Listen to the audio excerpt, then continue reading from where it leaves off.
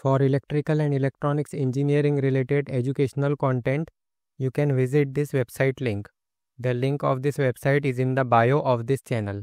Also, you will get the link of this website in the video description. In this video, we will see a problem on superposition theorem. Question Apply superposition theorem to the network shown in figure for determining the current in 100 ohm resistance. Now here for this circuit we have to find the current through this 100 ohm resistance by using superposition theorem. Now here we can apply superposition theorem because it consists of multiple sources. As we can see there are two voltage source. Solution First of all we will take this circuit and we have to find this current the current through 100 ohm resistance. So first we will consider this 100 volt voltage source and turn off all other sources. And remember that when we turn off a voltage source that time we have to replace it by short circuit. And when we turn off a current source that time we have to replace it by open circuit. So first of all let's consider 100 volt voltage source. So step number 1 is to consider consider 100 volt voltage source and turn off all other sources all other sources. Now here we can see if we consider this 100 volt voltage source and turn off all other sources, that time it will be replaced by a short circuit. Now, let's say this current is current I1 and the current through this 100 ohm resistance is let's say this is I prime. Now we have to find the value of I prime. So by using by using current division by using current division rule we can find the value of i prime. So i prime is equal to this current which is i1 multiplied with opposite branch resistance. Now here opposite branch resistance to this 100 ohm is this 20 ohm. It is connected in parallel to this 100 ohm so it will be 20 divided by 20 plus 100. This is the same resistance from which we have to find the value of current. Now here we don't know the value of this current I1. So first we need to find the value of I1. So I1 is equal to voltage divided by resistance. This is according to Ohm's law. Now here the value of voltage is 100 divided by now we have to take the total resistance from this circuit. So as we can see this 80 ohm is in series with 100 ohm parallel with 20 ohm. So it will be like this 80 plus 100 into 20 100 into 20 divided by 100 plus 20. Now if we solve this, it will be 100 divided by 80 plus 100 into 20 divided by 100 plus 20. So it is 30 divided by 29. 30 divided by 29 ampere. Now let's put this value here. So we get the value of i prime. So i prime is equal to 30 divided by 29 multiplied with 20 divided by 20 plus 100. Now if we solve this, so i prime is equal to 30 divided by 29 multiplied with 20 divided by 20 plus 100. So it is simply 5 divided by 29 ampere.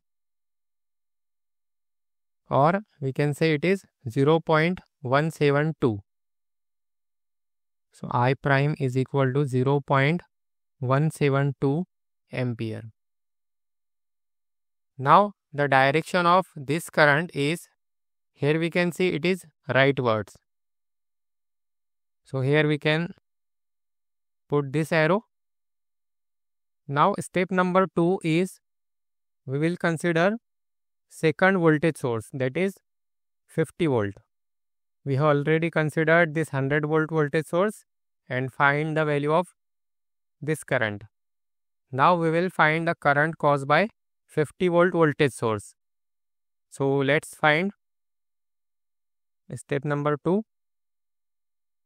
Consider 50 volt voltage source and turn off all other sources. Now, if we turn off this voltage source, now this time it will be replaced by a short circuit. The direction of this current will be like this. So, let's say this time this current is I2 but we have to find this current this current is i double prime now let's find the value of i double prime by using so by using current division rule by using current division rule we can find the value of i double prime it will be this current i2 multiplied with opposite branch resistance. Now here for this 100 ohm the opposite branch resistance is 80 ohm. So 80 divided by 80 plus 100. Now here again we don't know the value of this current I2. So first we need to find the value of I2. Now I2 is equal to voltage divided by resistance. Now here the value of voltage is 50 and the value of resistance here is as we can see these two are connected in parallel. So first we will take 80 ohm and 100 ohm are connected in parallel. So 80 into 100 divided by 80 plus 100. Now plus now these two are connected in series with this 20 ohm. Now if we solve this so we get 50 divided by 80 into 100 divided by 80 plus 100 then plus 20 it is equal to 45 divided by 58 ampere. Now this is the answer for i2 but we have to find the value of i double prime. So I double prime will be 45 divided by 58 multiplied with 80 divided by 80 plus 100. So let's find the value of I double prime by using calculator. So again 45 divided by 58 multiplied with 80 divided by 80 plus 100. So it will be 10 divided by 29 ampere or we can say I double prime is equal to 0 0.344 0 0.344 ampere. Now here the direction of this current I2 will be leftward as we can see the direction is leftward.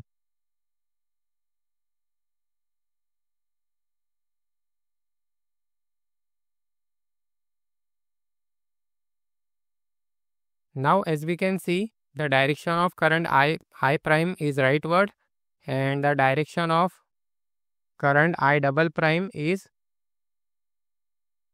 leftward. So it is rightward. The direction of current I prime is rightward and the direction of current I double prime is leftward. So we have to find the current through we have to find the current through this 100 ohm resistance. So I 100 ohm is equal to now since the directions are opposite. So first we will see which one is bigger. So here it is 0.172 and here it is 0.344. So we have to take I double prime first. So I double prime then subtract. We, we have to subtract it because the directions are opposite. So I double prime minus I prime. I double prime minus I prime. Now we will put the fraction values here because we have to get the precise answer. Now I double prime fraction value is 10 divided by 29. So 10 divided by 29 minus now here the value of I prime in fraction is 5 divided by 29. So 5 divided by 29. Now this will be, let's solve this in calculator. So 10 divided by 29 minus 5 divided by 29. Now this will be equal to 0 0.172. 0 0.172 ampere. Now here the direction of this current will be according to the direction of I double prime because it is bigger. So it is leftward. That means the direction of this current will be leftward. So the current through 100 ohm resistance is 0.172 ampere. Here we can again draw the circuit like this and we can draw the current like this and we can write 0.172 ampere. So this is the final answer for this problem. So don't forget to like, share and subscribe to this channel and thanks for watching.